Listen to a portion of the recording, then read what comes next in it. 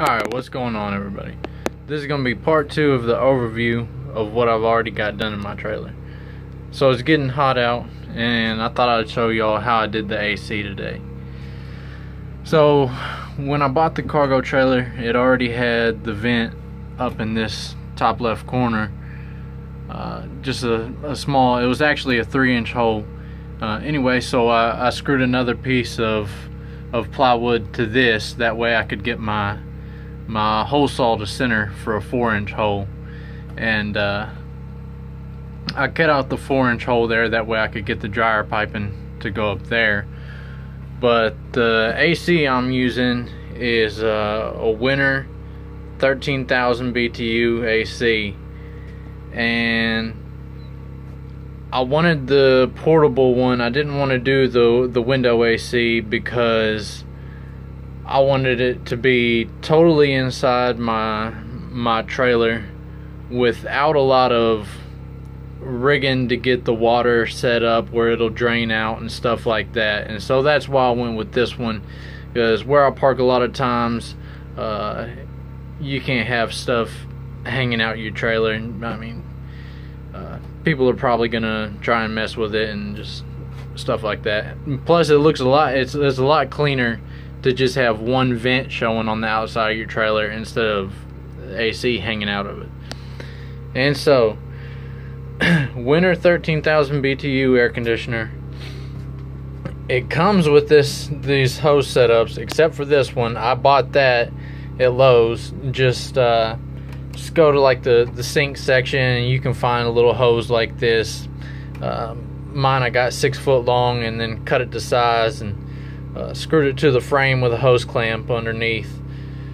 And uh, so yeah this one you want to get a dual hose setup. That way you're not pulling a vacuum on your on your trailer. And then you're bringing more hot air in because you've got that vacuum. So this is the intake for this air conditioner which goes down right here I've started insulating the bottom of it because this is kind of it turns it into like a part it turns it into like a this this hose here turns into like a a wall of your trailer almost. So you'll probably want to insulate that too or I sure do. Uh, so so I've started insulating it there so that's where it breathes in. I cut cut a four inch hole in the floor and they sell they uh, it comes with a uh, a mounting a little adapter. And so I mounted that to the floor with some stainless steel screws. I use like uh, it's called through the roof. I use that to make my seal around this. It's waterproof and it's just it's great stuff. That's what I use to seal all these. So there's my drain pipe right beside it going through the floor. There's the intake for it and then the exhaust right there.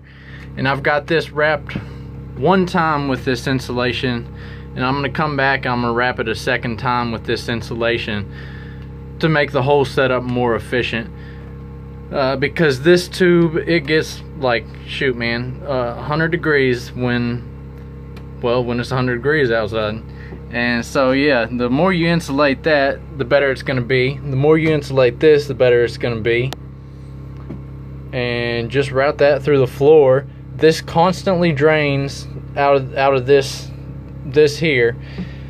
So I'll never have to drain it myself. There's another drain down lower and if you use that one, you don't have to use this. You can you can just put the plug they give you in this and you can use that one and it'll save the water. It'll hold it in a reservoir in the bottom of this air conditioner and when the reservoir gets full this air conditioner will shut off and then you'll have to take the air conditioner out and manually empty that drain. But of course it's a way better setup to just use this where it drains constantly. And so that's what I did. Now my trailer is a 7x16 well this air conditioner with the insulation I've got even being 13,000 BTUs it wouldn't cool the whole trailer. It would not cool the entire trailer efficiently the way it was. And so that's why I framed that wall back there and used the 2x4 stud installation. If I could do all this again, I would not use I would not use this blue insulation up here because it's like not even half the value, the R value of that, that R13. This is like a R5 or R6 or something like that. Uh, so I would not use that again. What I would do, the the reason why I didn't use it to begin with is because there was only there's only you only have a one inch void between the back of this plywood and the aluminum sheathing that they put on the outside of the trailer. So if I was to do this again, what I would do is I would come in here and I would take all these boards down like I did. I would take all this plywood down. I'd install a, a three quarter or a one inch fern strip, uh, you know, one inch wide by three quarters thick, and and however however tall the height is for that.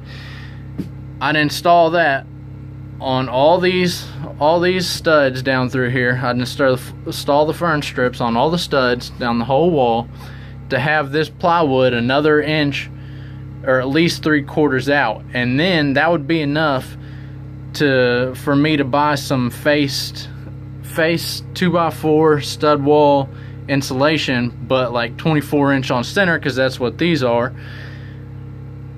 And then staple it, uh, staple it or nail it all to those, all to those studs with the fern strips, and then put this back on, and you're only going to lose an inch and a half of width out of the whole trailer, but your insulation value is going to be twice what this blue stuff right here gives you right now. And so that blue stuff, man, uh, I see everybody using it. That's why I use it on mine but it's really not that great. Uh, you're gonna save yourself in the long run if you use if you use that 2x4 stud wall insulation. Um, it's way worth it, and it's even from what I see, it's gonna come out cheaper. I've already spent like a thousand dollars in this blue foam board insulation, man. And from just some rough math I did earlier, I think I could have got all that 2x4 stud wall insulation for for like 500 for the whole trailer. So half the price but be twice as good. And so yeah that's what I would use if I was gonna do this again.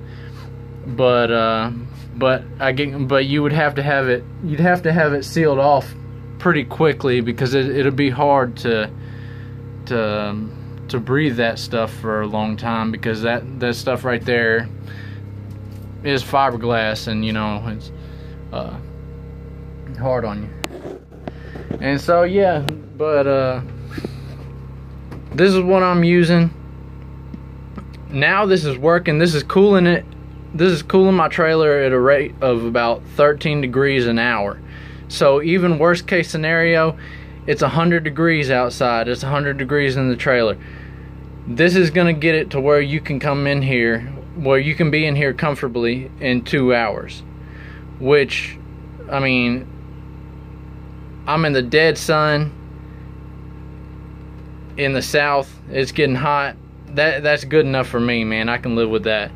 If it can be 73 down in here and 74 in here in in two hours, that's great for me. It usually don't get 100 100 degrees anyway, but sometimes it does.